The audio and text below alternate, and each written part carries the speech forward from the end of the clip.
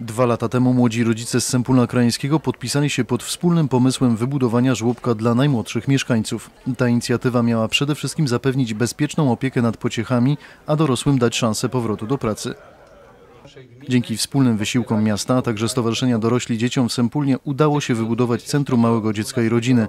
Jest to pierwsza tego typu placówka w tym regionie. Od września trafiło do niej 40 maluchów. Jest tutaj również klub Małego Dziecka, w którym zajęcia prowadzone są dla nieco starszych dzieci. Rodzice, którzy zdecydowali się na powierzenie opieki nad najmłodszymi, podkreślają, że jest to długo oczekiwana inwestycja. Tego typu właśnie instytucje powinny być e, wcześniej już robione. No, Dzieci mają możliwość e, bawienia, a rodzice mają możliwość e, dalej pracowania i zdobywania sukcesów zawodowych. bardzo jest potrzebne, zwłaszcza dla matek, które nie mają z kim zostawić dzieci, a powrót do pracy zbliża się wielkimi krokami, więc jak najbardziej instytucja żłobka jest mile widziana. Centrum ma zwracać uwagę dzieci. Wyposażono je w taki sposób, aby poprzez dotyk, muzykę i światło uczyć najmłodszych poznawania świata.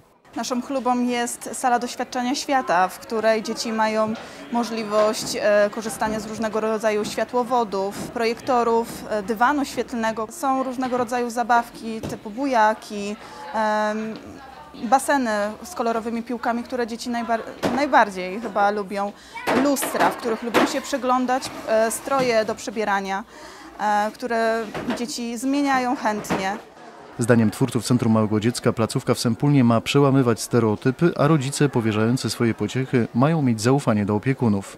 Przyświecało nam przede wszystkim to, żeby to było miejsce rozwojowe dla dzieci pod względem poznawczym i pod względem ruchowym, a jednocześnie też było miejscem takim, gdzie dzieci będą czuć się bezpiecznie i będą też napotykały na małe, bezpieczne wyzwania. Sempoleński żłobek powstał dzięki pomocy Ministerstwa Pracy i Polityki Społecznej. Samorząd z programu Maluch dostał prawie milion złotych.